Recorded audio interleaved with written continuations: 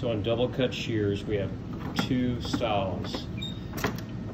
This is the C160 cordless, uh, 14 gauge capacity galvanized, 16 stainless.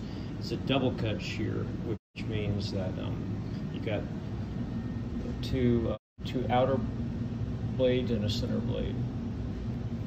We stock the chip clipper as uh, standard.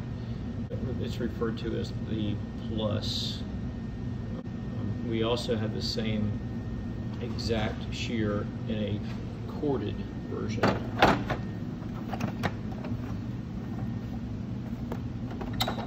Also with the chip clipper. We're going to demo it Here we go.